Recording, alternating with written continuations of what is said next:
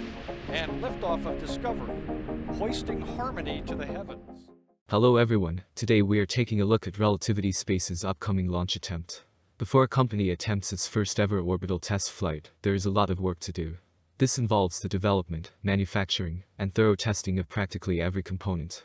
This is necessary as the first launch is very difficult, and if just one thing goes wrong it likely ends in an explosion.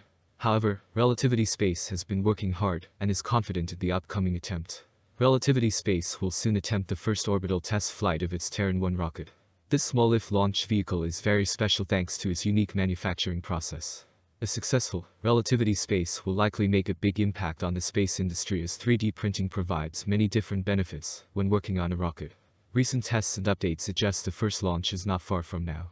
Relativity Space is trying to change how you create a rocket. While risky, it could pay off significantly if they manage to figure it out. This includes the 3D printing on, not only the main rocket structure, but also engines and other vital components. Here I will go more in depth into the recent progress, and when we should expect to see Terran 1 take flight for the first time. As Relativity Space gets closer to the first launch attempt, we are seeing the company progress even faster. Looking at recent months especially, you can see how eager the company is to launch Terran 1 for the first time. Starting in early March a lot of progress began. Specifically, on March 3 Relativity tweeted saying, This week, the second stage of Terran 1 left our Long Beach HQ for its testing facilities at NASA Stennis. Check out this clip of Stage 2's departure. Stay tuned for more updates. This tweet included a short video highlighting the second stage and part of its trip to the testing facilities. Only a few days later on March 10, Relativity provided another update on the second stage's journey this time with additional information. They highlighted that this is the first rocket stage that we have shipped from the factory. In addition, they expressed their satisfaction with the team and all the hard work that went into this milestone. From here, only a few weeks later in early April, Relativity Space provided another tweet update.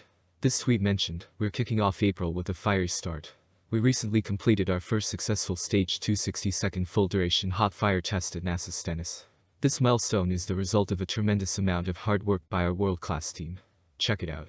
Included were multiple angles of the second stage firing its engine.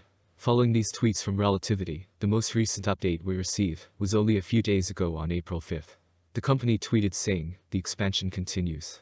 Our team is hard at work as we continue to build out our new 1 million plus square foot headquarters in Long Beach, California. Relativity Space has quite a bit of infrastructure spread throughout the country.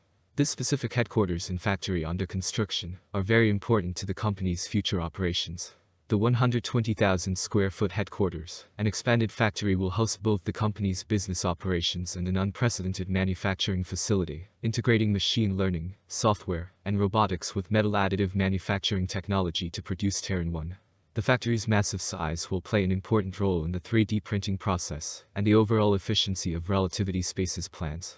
They describe it as the factory of the future, the first aerospace platform to automate rocket manufacturing, vertically integrating intelligent robotics, software, and data-driven 3D printing technology. Incorporating Stargate, the world's largest metal 3D printer with AI-driven controls, our factory of the future continuously optimizes production, resulting in greatly compounded quality and time improvements, lower costs, and product designs previously not possible. The new space will give them the opportunity to truly innovate the manufacturing process of rockets.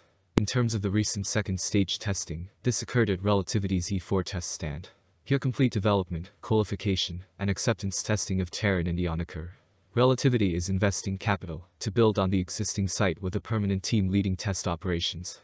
This specific test stand features 25-acre location including 15,000 square feet of specialized test infrastructure, over 10,000 seconds of test data accumulated, four large test cells rated for both vehicles and engines, and an exclusive 20-year agreement. With all this progress happening, we should expect to see a launch not long from now. Specifically, in late 2021, Relativity tweeted saying, a few updates on Terran 1, we're excited to share that Stage 2 passed cryo-pressure proof, plus hydromechanical buckling test on our structural test stand. Up next, S1 structural testing. And, Terran 1's demonstration launch is now set for early 2022 from Cape Canaveral LC-16. Based on current information from the company and additional sources, we can expect a launch to happen towards the middle or end of 2022. As mentioned in the tweet, this launch will happen at LC16. This site has been under construction for a while now, and is meant to support the initial Terran 1 flight, along with future customer launches. It is located at Cape Canaveral Air Force Station, and is ideal for supporting low to mid-inclination orbits. Now that we know some of the recent progress relativity space has made regarding the first Terran 1 flight, we can take a closer look at the launch vehicle itself. Terran 1 is an expendable two-stage launch vehicle powered by liquid natural gas, LNG, and liquid oxygen, LOX.